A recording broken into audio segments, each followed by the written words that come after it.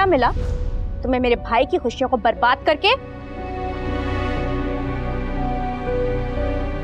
माहम तुम क्या बात कर रही हो? सब लोग देख रहे हैं। क्या सब देख रहे हैं? मेरे भाई का सुकून छीन लिया तुमने और अब देखना खुदा तुमसे तुम्हारा सब कुछ छीन लेगा।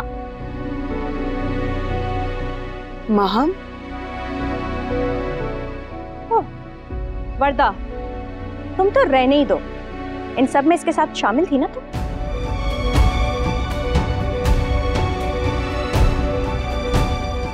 अपने डैड की वजह से मजबूर हूँ इसलिए आज यहाँ पे वरना तुम्हारी तो मैं शक्ल भी ना देखूँ।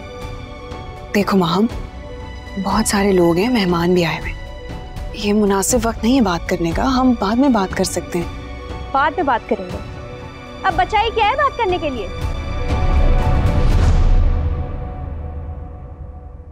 माहम।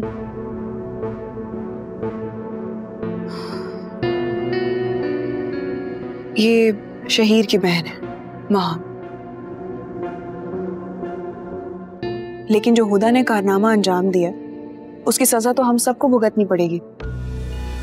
आखिर रिश्ता भी तो है। ख्याल भी रखना होगा और बातें भी सुननी पड़ेंगी बाकी सबकी।